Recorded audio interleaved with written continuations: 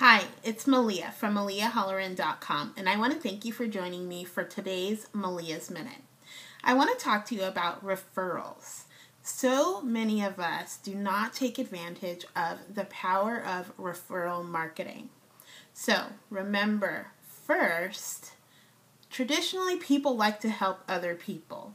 So if you've done great work for a client, it is perfectly acceptable to ask for the referral.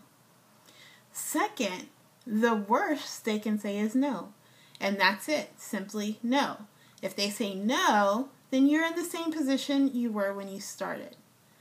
And last, if you make asking for the referral part of your routine, you are sure to win and gain new clients that you wouldn't have gotten otherwise. So, if you have incorporated referral marketing into your routine and you have a special way to ask, please leave in the comments, share with other people how you make referral marketing a part of your business. Thank you for joining me for today's Malia's Minute and have a wonderful day.